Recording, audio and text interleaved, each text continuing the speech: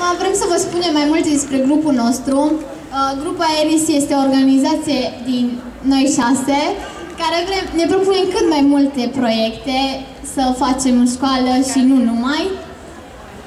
Uh, primul proiect al grupului Aeris este DFF Dash Film Festival, care tocmai e în desfășurare.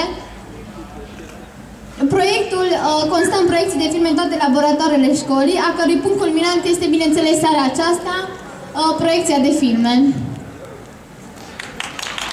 Ce fricosul este simbolul nostru.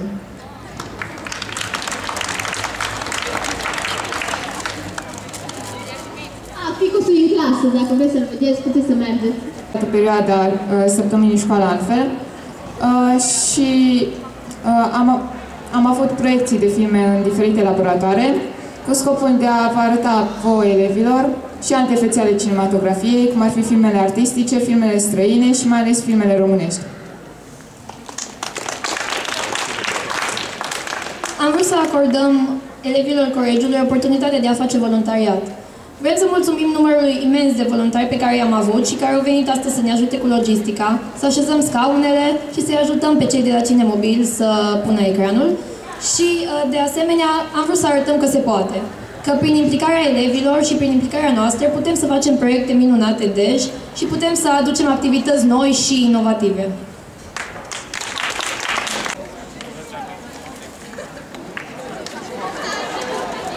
Bun, uh, înainte să ne spună Tudor câteva cuvinte, vrem să mulțumim, vrem să mulțumim uh, profesorilor care ne-au ajutat, profesorilor care ne-au acordat, tuturor profesorilor care ne-au felicitat și care ne-au acordat minute prețioase din orele lor ca să putem să ne promovăm proiectul. Și să iau cuvântul astăzi. Starea mea de sănătate nici nu poate permite acest lucru, dar sunt atât de impresionat de ce am văzut aici, încât trebuie să spun câteva cuvinte. Am peste 40 de ani de activitate didactică și nu mi-a fost dat niciodată să văd elevi atât de implicați în ducerea la bun sfârșit a unui proiect minunat, DFF. Acum îmi dau seama, și e bine că îmi dau totuși seama, că tinerii, dacă au libertatea de a face ceva, fac lucruri minunate. Sunt mândru că vă am elevi.